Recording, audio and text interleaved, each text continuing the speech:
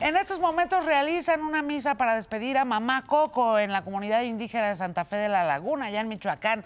Familiares, amigos y toda la comunidad está presente para honrar a esta mujer que es un orgullo, no nada más para todos ellos, sino para todo México. Aquí les conté, doña María de la Salud Ramírez falleció a los 109 años de edad. Aquí en Imagen Noticias, en estos primeros seis, platicamos con ella. En paz descanse, mamá Coco.